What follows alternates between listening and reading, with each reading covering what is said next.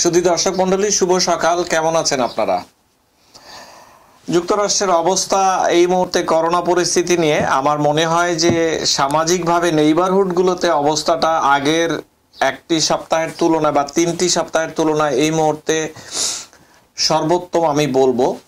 অর্থাৎ সাধারণ নেইবারহুডগুলোতে সংখ্যা মনে হচ্ছে কিছুটা স্থিতিশীল, যদিও হাসপাতালগুলো এখনও কম্প্যাক্ট জ্যাম প্যাক আছে।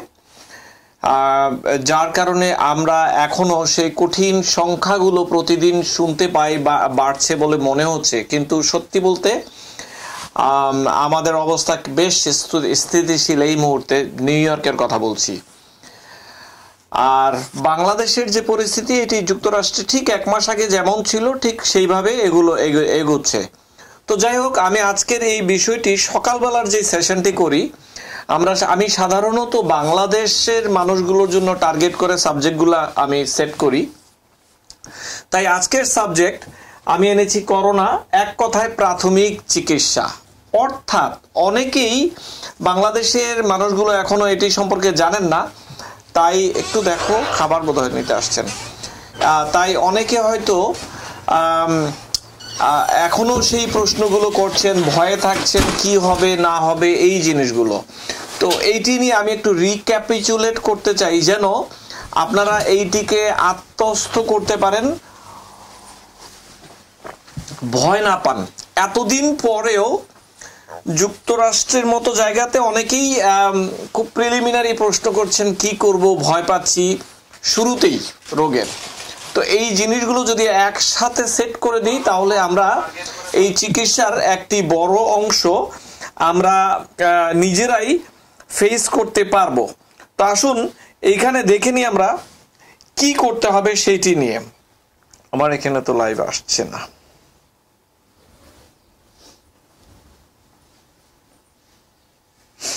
শেয়ার করতে চাচ্ছিলাম, হচ্ছে না।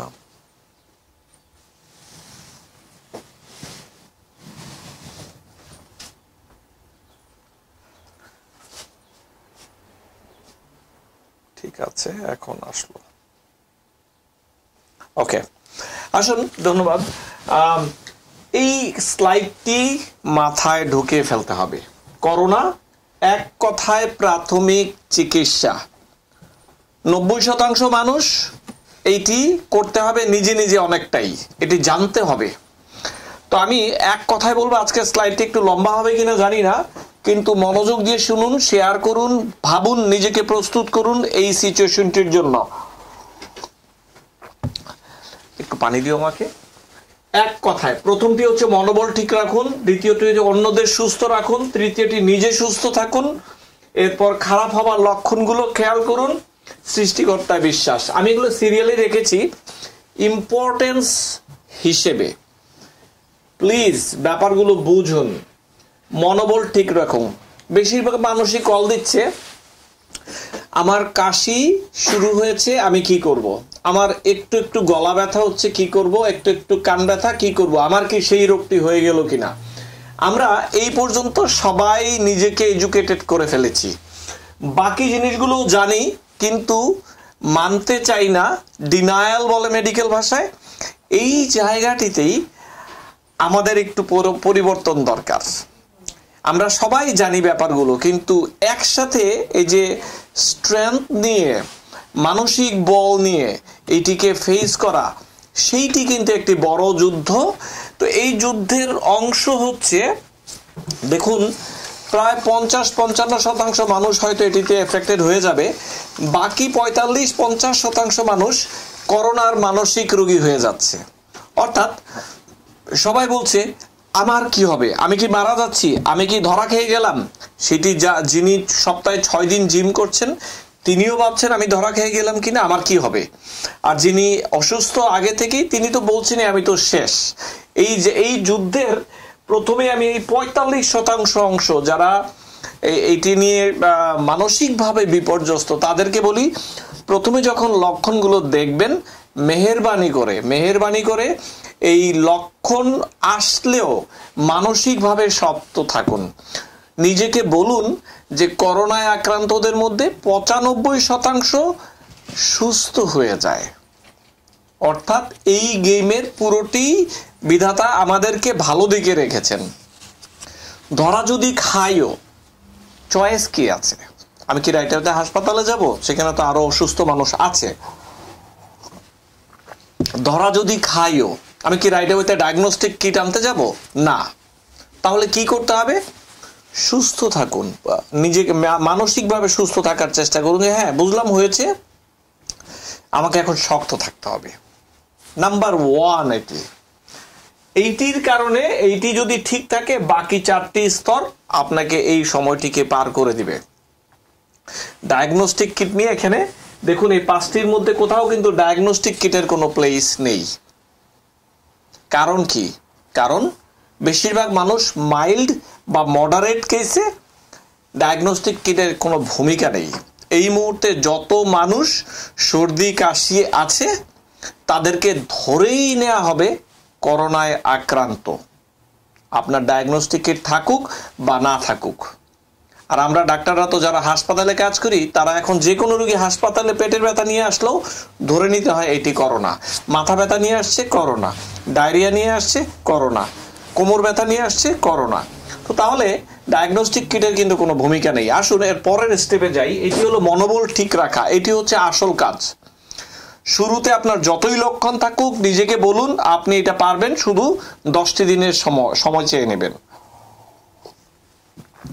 এরপর যেটি আছে, অন্যদের সুস্থ রাখুন। দেখুন, নিজে সুস্থ রাখুন কিন্তু পরের লেভেলে আসছে। আমি অন্যদের সুস্থ রাখুন ব্যাপারটি বলেছি, এটির ইম্পর্টেন্স আছে। অর্থাৎ আপনার যদি করোনা লক্ষণ থাকেও, আপনার প্রধান কর্তব্য এই মুহূর্তে হবে আপনি আপনার আশেপাশের মানুষ, প্রিয়জনগুলোকে কীভাবে সুস্থ রাখবেন সেইটি আসল কথা। আপনি অসুস্থ হয়ে গিয়েছেন, বুঝলাম।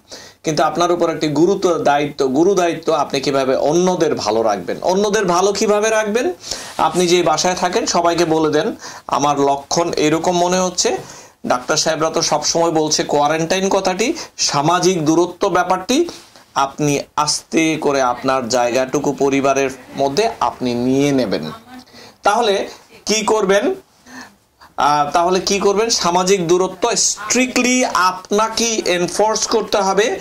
যেন যেন যেন সামাজিক দূরত্বর কারণে মাধ্যমে আপনি সবাইকে সুস্থ রাখতে পারেন। ধরুন আপনি আপনার পরিবারের একজন অসুস্থ হলেন। আপনি ভাবলেন যে কিছুই হবে না। আচ্ছা ঠিক আছে, দেখা যাক কি হয়। আপনার পরিবারে যে চারজন সদস্য আছে ইনক্লুডিং আপনার বাবা মা তাদেরকে কিন্তু আপনি অসুস্থ বানিয়ে দিবেন।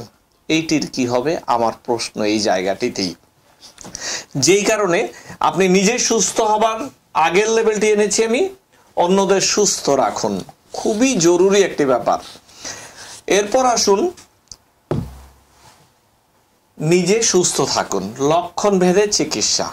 এটি এখনও পর্যন্ত পঁচানব্বই শতাংশ মানুষ লক্ষণ ভেদে চিকিৎসায় ভালো হয়ে যাচ্ছে এবং এই লক্ষণ ভেদে চিকিৎসা আপনার ডাক্তার, এই মুহূর্তে আপনি কোথাও ডাক্তার পাবেন না। সেটি যুক্তরাষ্ট্র হোক, বাংলাদেশ হোক, যেখানেই হোক। তারা ব্যস্ত সেই পাঁচ শতাংশ মানুষকে কীভাবে চিকিৎসা দিবে সেইটি নিয়ে। তাহলে এই লক্ষণভেদী চিকিৎসার অংশটুকু আপনাকে জানতেই হবে। এই ব্যাপারটি একটু শুনে নিন। আমি অন্য স্লাইডে বলেছি ওগুলো দেখবেন, কিন্তু এইটি জানতেই হবে সবাইকেই। লক্ষণ কি? জ্বর, কাশি, গলা ব্যথা, শ্বাসকষ্ট।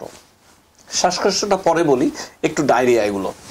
তো এই যে সামনের দশ দিন আপনাদের যাদের হলো মনে করেন, তারা কিন্তু এগুলো জানতে হবে কি করতে হবে। আপনার যদি অন্যান্য সমস্যা না থাকে, জ্বর একশো দশমিক চারের উপরে ফারেনহাইটের উপরে না যায়, আপনি প্যারাসিটামল দিয়েই চালিয়ে নিতে পারেন কিন্তু জ্বরের শরীর ব্যথার ব্যাপারটি ছয় ঘণ্টা পর পর পাঁচশো মিলিগ্রামের বা ছয় থেকে আট ঘণ্টা পর পর যদি নর্মাল ওজন হয়, আপনার একজন অ্যাডাল্ট মানুষ ছয় ঘণ্টা পর পর এই প্যারাসিটামল জাতীয় ওষুধগুলো খেয়ে যেতে পারেন।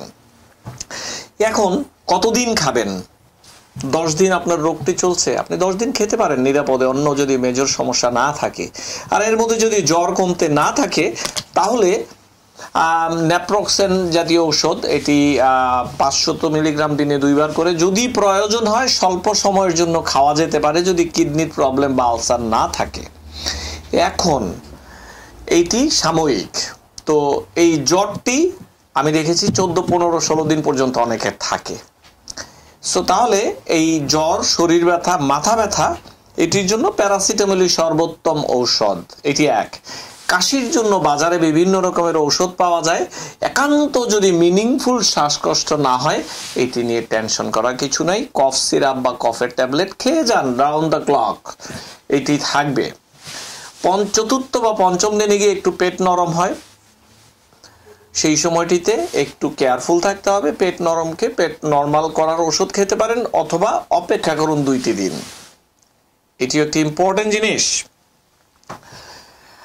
একটি এরপর মাথা ব্যথা, দুর্বলতা। মাথা ব্যথাটি সাধারণত চলে যায়, কিন্তু দুর্বলতাটুকু বেশ কিছুদিন থাকবে। অনেকের ছয় সপ্তাহ পর্যন্ত থাকে দুর্বলতা। সেই জায়গাটি তো মানসিক একটি ব্যাপার রয়েছে। এটি খেয়াল রাখতে হবে।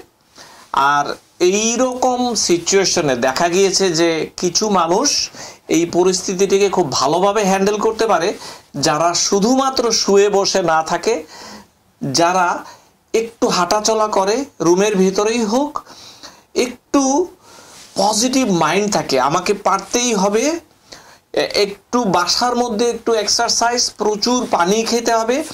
এই পজিটিভ মানুষগুলো দেখা গিয়েছে যে এই করোনার আক্রান্ত হলেও তারা তাদের আউটকামটি একটু বেশি।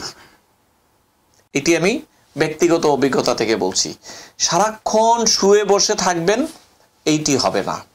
একটি ওয়ার্ম বাথ নেন, গোসল করুন পজিটিভ থাকুন, বসুন কম্পিউটারে একটু দেখেন কি হচ্ছে। মেবি টিভিতে আপনার প্রিয় খেলাটি দেখতে পারেন। একটু ফ্রেশ বাতাস নিন, জানলাটি খুলে। পজিটিভ ভাবুন। বন্ধু বান্ধবের সাথে একটু কথা বলুন। দোস্ত, কেমন আছিস? এই অবস্থা। এই, এইটি এইটি করে পজিটিভ না থাকলে কিন্তু শুধুমাত্র শুয়ে থাকবেন রেস্ট করবেন, ভাববেন কোনো একটি সময় চলে যাবে, এটি হবে না। এই সময়টিতে প্রচুর পানি খেতে হবে। পানির পানির যেই প্রয়োজনীয়তা সেটি বেড়ে যায়। শরীরের ভিতর প্রচুর প্রদাহ চলতে থাকে। এই জন্য এটির প্রয়োজনীয়তা বেড়ে যায়। প্রায় ডাবল করে দিন আপনার পানি পান করারটি। প্লেন ওয়াটার কি খেতে পারলেন, না পারলেন, সেটি নয় প্লেন ওয়াটার খেতে হবে। এরপর আসুন, তো লক্ষণগুলো তো আমরা বুঝে গেলাম। আট থেকে নয় দিনের মাথায় দেখা যায় যে মানুষের শ্বাসকষ্ট কিছুটা শুরু হয়েছে, সেই জন্য ফুসফুসের কিছু ব্যায়াম আগে থেকেই সবার করা উচিত, যেটি আমি আগামীকাল সকালে আমি পরিষ্কারভাবে দেখাবো ফুসফুসের ব্যায়াম কীভাবে করতে হবে। কিন্তু সেই ব্যায়ামটি করতে হবে। এখন একটু বলি দুইটি ইয়ে।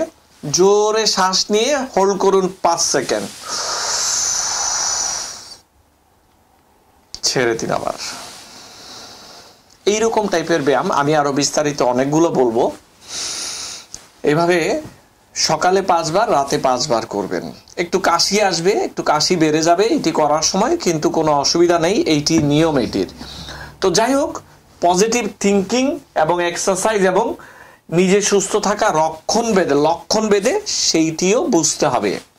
এরপর, এই পরিস্থিতিতে আগামী নয় দশ দিন সকল মানুষ যারা এফেক্টেড হচ্ছেন বা হয়েছেন, তাদের জন্য একটি যুদ্ধ বারো তেরো দিন পর্যন্ত থাকে। খারাপ হওয়ার লক্ষণগুলো শুধু যদি একটু মাথায় রাখেন। অনেককে দেখেছি প্রথম দিন থেকে বলছেন, আমার কি শ্বাসকষ্ট হচ্ছে? যার জ্বর নেই, সেও বলছে, আমার শ্বাসকষ্ট হচ্ছে। ব্যাপারটি কিন্তু ঠিক সেই রকম নয়। সত্যি ব্যাপারটি সেরকম নয়। খারাপ হবার লক্ষণগুলো জাস্ট একটু মাথায় রাখুন। সারাদিনে হয়তো এক, দুইবার নিজে ভাবতে পারেন যদি লক্ষণ আসে, তবে এছাড়া এইটি নিয়ে প্রি অকুপাইড হয়ে আপনি জীবনটি নষ্ট করে ফেলবেন তা হবে না। পঁচানব্বই শতাংশ মানুষের এই লক্ষণগুলো আসেই না। তবু জানানোর জন্য বলি, রক্তচাপ কমে যাবার সম্ভাবনা থাকে শেষের দিকে, যেমন একশো বাইশ ষাট, তার নিচে অল্টার্ড মেন্টাল স্ট্যাটাস অর্থাৎ আপনি মানুষ চিনবেন না আবল তাবল বকবেন, এটি হবার সম্ভাবনা থাকলে মনে করবেন যে এটি খারাপের দিকে যাচ্ছে। এটি খুব কম রেয়ারলি এক থেকে দুই শতাংশ মানুষের হয়। তৃতীয়টি হচ্ছে ট্যাকিপনিয়া শ্বাসকষ্ট। এখন আমরা বাংলাদেশিদেরকে, বাঙালিদেরকে আমরা একটু মনস্তাত্ত্বিকভাবে আমরা একটু দুর্বল থাকি। যাকেই জিজ্ঞাসা করবেন, শ্বাসকষ্ট আছে, তিনিই বলবেন আছে। সেটি নয়। আপনি দশটি স্টেপ হাঁটতে পারেন কিনা দেখুন, সিঁড়ি বাইতে পারছেন কিনা দেখুন। সেই ক্ষেত্রে যদি মাত্রাতিরিক্ত শ্বাসকষ্ট হয়, সেইটিকে বলব শ্বাসকষ্ট। বাসায় যদি মাপার যন্ত্র থাকে পালস অক্সিমিটার যেটি দিয়ে অক্সিজেন মাপা যায়, সেই ক্ষেত্রে যদি নব্বই শতাংশের নিচে আসে, তখন এটিকে মিনিংফুল বলা হয়।